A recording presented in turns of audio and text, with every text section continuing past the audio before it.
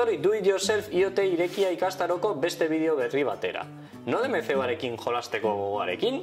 Ba, iritsi da eguna. Gaur, gure lehenengo sketcha idatziko dugu. Zer egiten duen azalduko dizuet eta plaka igoko dugu. Asteragoaz. Softwarearekin hasi baina lehen, zer elementu erabili behar ditugun garbi utzi behar dugu.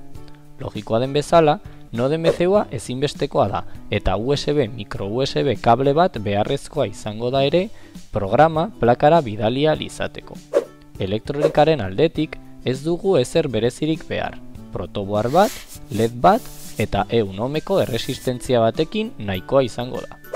Zirkuitua irudi honetan daukazue, eta ikusten den bezala, node MCUko bi pin erabiliko ditugu, ground eta debost.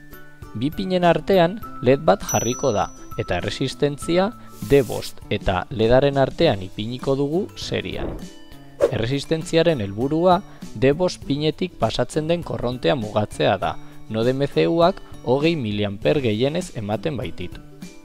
Baina zein da lortu nahi dugun helburua zirkuitu honekin?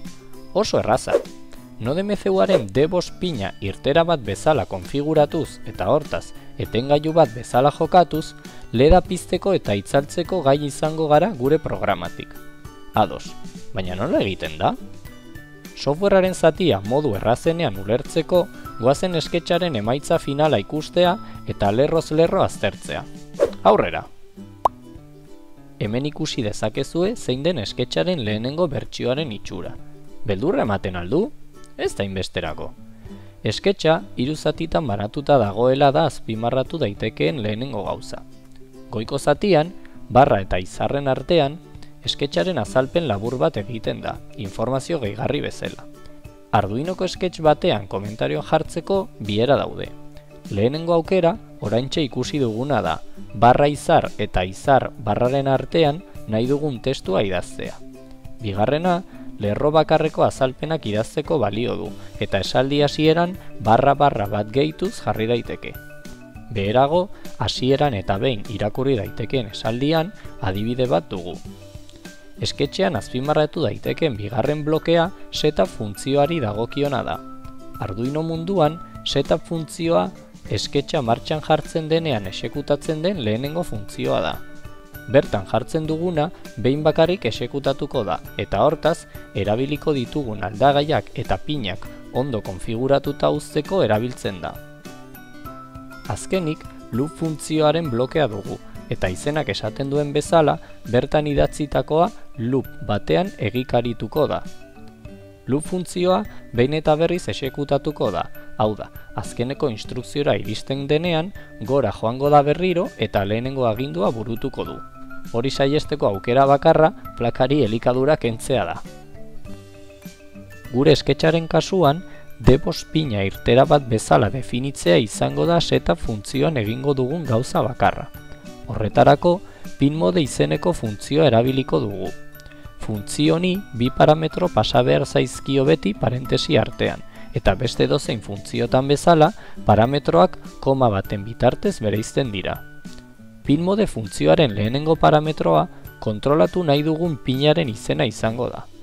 Bigarren parametroan, output edo input hitza idatzi behar da, eta beti maiuskulaz, hitz berezi bat delako. Lehenengo parametroko izenerako bi aukera desberdin ditugu. Gogoratzen duzuen nola aurreko bideo batean NodeMCU-aren pinen izenei buruz hitz egin genuen? Ba, NodeMCU plakan azaltzen den izena jarri dezakegu, D-Bost, edo GPIoren nomenklatura jarraituz, amalau zenbakia jartzea da beste aukera. Arduino munduan, GPIO zenbakia erabiltzen da erreferentzi bezala, baina node MCU-arekin beste izendatzeko era ere erabili daiteke. Ez ahaztu, sketch batean, instrukzio baten ondoren puntu eta koma jarri bar dela beti. Sketcharekin amaitzeko, loop funtzioaren zeregina deskribatzea falta zaigu. Kode zati honetan bi funtzio desberdin erabiltzen ditugu bakarrik, digital write eta delay. Goazen lehenengo bigarrena aztertzea. Delay funtzioa oso simplea da, programaren esekuzioa gelditzen du denbora batez. Geldialdi denbora hori funtzioaren parametroaren arabera mugatzen da, eta balioaren unitatea milisegunduak dira. Gure kasuan, digital write batetik bestera, bos mila milisegunduko, bos segunduko geraldia egongo da. Digital Write funtzioa aldiz, irtera bezala konfiguratua dagoen pin baten egoera kontrolatzeko balio du. Pin moderekin gertatzen zen bezala, funtzioak bi balio onartzen ditu parametro gisa. Lehenengoa, kontrolatu nahi dugun pinaren izena. Ez ahaztu lehen esan duguna izenari buruz. Eta bigarrenean, low, 0 edo high, bat, pinean konektatua dagoena piztu edo itzaltzeko. Labur bilduz. Gure programak leda piztu eta itzali egingo du 5 segunduro. Erraza, ezta? Esketxa zertu ondoren, goazen programa ondo dabilen ala ez egiaztatzea. Lehenengo, tik ikurra duen botoian klik egingo dugu, esketxa ondo konpilatzen den ikusteko. Barra berdean, konpilado azaltzen bada, inolako akats sintaktikorik ez dugula esan nahi du. Primeran, Gainera, konpilatu ondoren, eremu beltzean flash memoriaren erabilerari buruzko informazioa ematen digu arduinoideak. Ondo? Esketxa plakara igo baino lehen, gure ordenagailura konektatu beharko dugu, eta horretarako USB, micro USB kableaz baliatuko gara. NodeMCUa ordenagailura konektatu ondoren, herramientas eta puertora joan ezkero, elbideantzeko bat ikusi beharko litzateke. Windowsen, com eta zenbaki bat izango da. Linuxen berriz, barra, deb, barra, TTI USB 0. Hemen ikusi dezakegu. Badirudi dena pres dagoela, esketxa idatzita eta node MCUa ordenagailura konektatua. Subir botoiari eman eta ea zer gertatzen den. Esketxa berriro konpilatzen hasiko da, eta gero, plakara igoko du.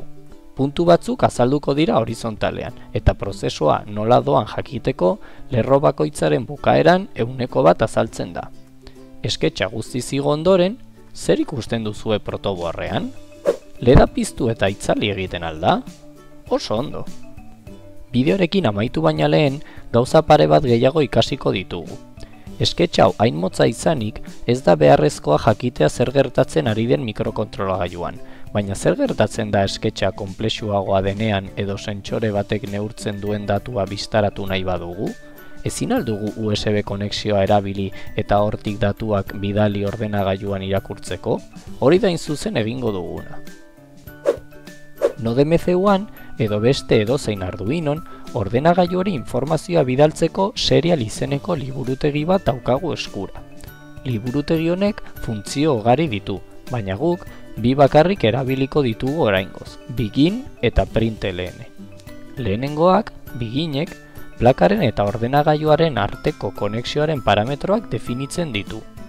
NodeMCUak balio desberdinak onartzen ditu, baina kasu gehienetan erabiltzen den zenbakia bederatzi mila seireun da, konexioaren abiadura bederatzi mila seireun bit segundukoa izateko. Noski, Begin funtzioaren deia setapean egingo dugu, mezuak hasieratik idazteko aukera izan izateko. Azkenik, println funtzioa guk nahi dugun mezua idazteko erabiliko dugu.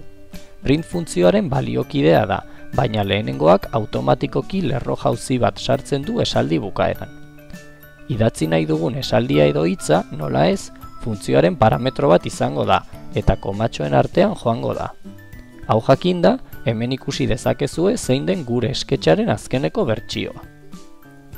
Esketxa konpilatu arazorik ez dagoela egiaztatzeko eta plakara igo. Egina? Ederki.